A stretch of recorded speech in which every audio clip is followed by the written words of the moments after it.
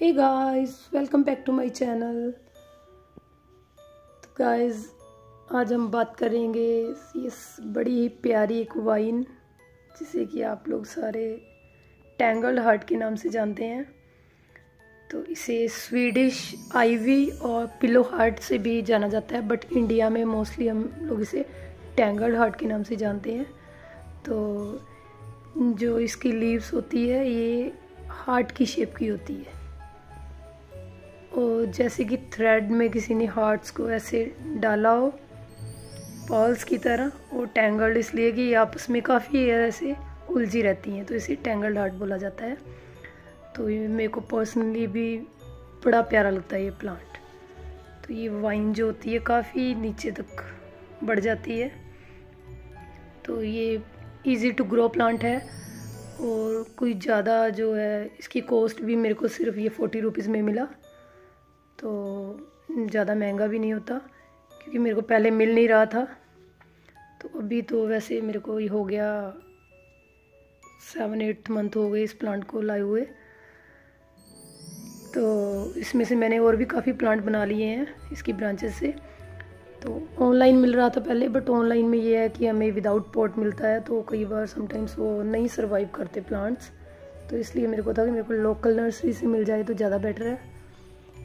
तो फ्रेंड्स, इसकी जो हम लोग पहले सनलाइट की बात करेंगे, जो इसकी सनलाइट की है ज़रूरत, वो ज़्यादा इसको सनलाइट वैसे नहीं पसंद है।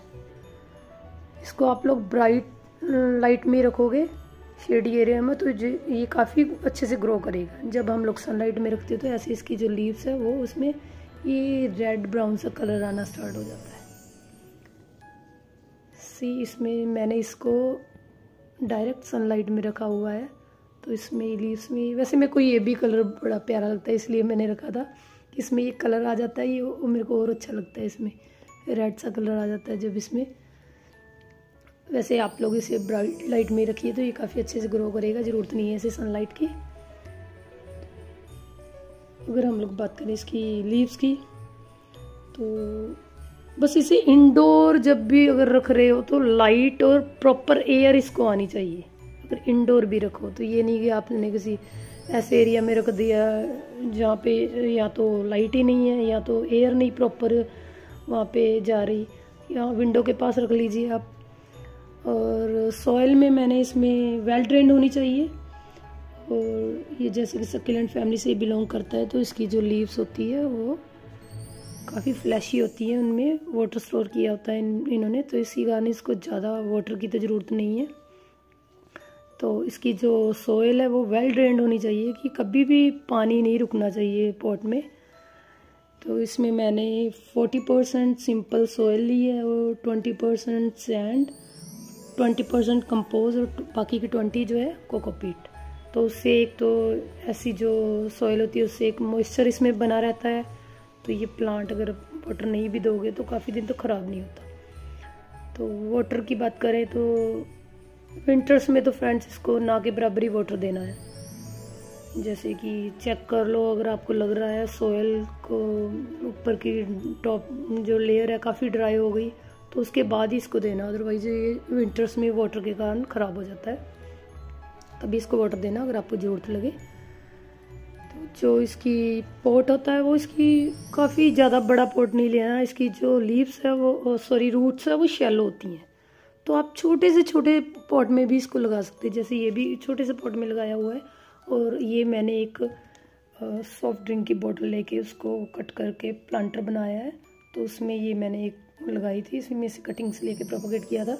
काफ़ी अच्छे से ग्रो कर रहा है ये भी। बस जो है, इसमें वाटर नहीं रुकना चाहिए। तो वाटर में फ्रेंड्स अगर अंडर वाटर होगा तो फिर हम लोग प्लांट को बचा लेंगे सर्वाइव कर जाएगा वो।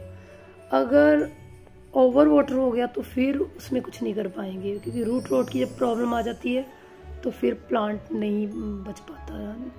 इसलिए मैं बार बार कहती हूँ कि अंडर वाटर चलेगा बट ओवर वाटरिंग कभी भी नहीं करना, किसी भी सक्की लैंड को। जब आपको लगे कि हाँ अभी है ज़रूर, तब भी वाटर करना, बाकी प्लांट्स की तरह इसको रेगुलर वाटरिंग नहीं करना।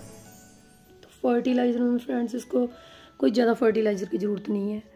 कंपोज बस वही आपको जब लगे थोड़ा सा कि अभी दे सकते हो अदरवाइज़ इसको ऐसे नहीं है कि अभी कम, कोई फर्टिलाइज़र की ज़्यादा ज़रूरत होती है, ये काफ़ी अच्छे से वैसे ही ग्रो करती हैं। तो सनलाइट की ये होती है कि जब ज़्यादा सनलाइट में रख देंगे ना तो ये थोड़ा ना लैगी हो जाता है। इसकी जो लीव्स है, इनमें जो ये गैप है, ये बढ़ जाता है। तो वो लीव्स का साइज़ भी छोटा हो जाता है तो वो इतना अच्छा नहीं लगता। इसलिए ब्राइट लाइट में ही ये अच्छा बेटर है जो अगर आप रखो तो। तो प्रोपोगेशन की बात करेंगे फ्रेंड्स तो इसमें कटिंग से ही वही सेम जो कटिंग लेके आप छोटी सी छोटी इसको आप लगा लो, जैसे कि ये आपने अगर इतनी ले ली तो इतनी इतनी छोटी कटिंग लेके उसकी जो नीचे की थोड़ी लीव्स हटा के रिमूव करके सिंपल सॉइल में उसको लगा दो बस तो ये काफ़ी अच्छे से ग्रो करेगा।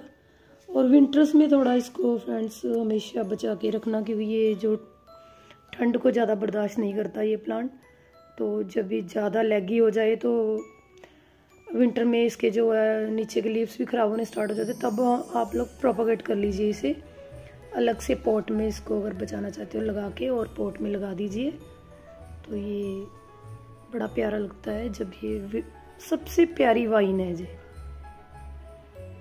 काफ़ी हद तक नीचे तक बढ़ जाती है अगर हमने हैंगिंग में लगाई है। आप वैसे पोर्ट में लगा सकते हो। हैंगिंग जो पोर्ट है उसमें ज़्यादा अच्छी लगती है।